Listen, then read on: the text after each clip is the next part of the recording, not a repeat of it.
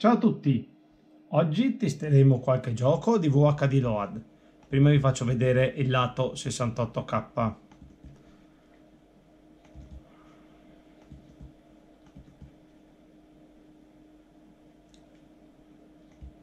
Un 0,40 a 25.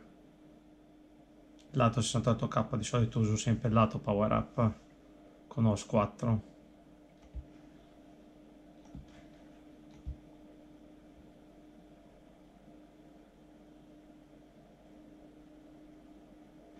Ok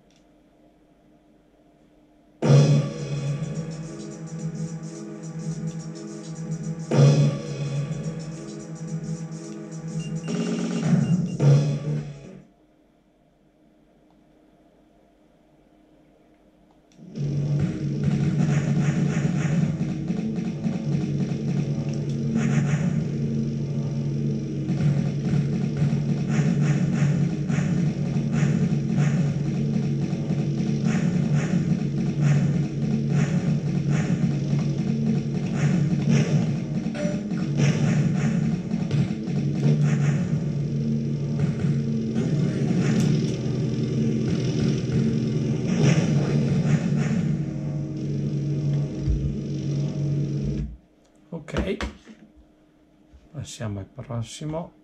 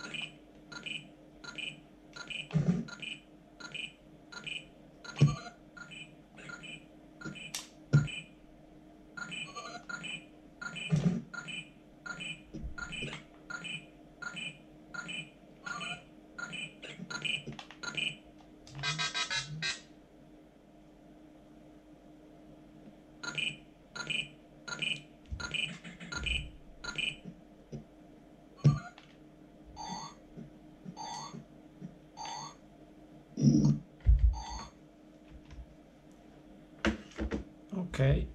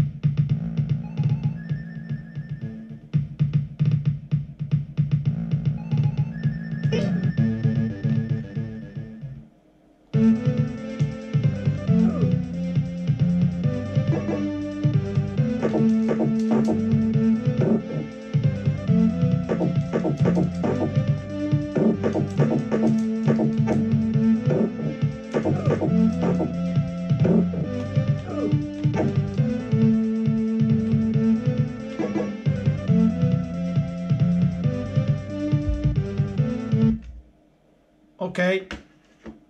Ciao a tutti, alla prossima.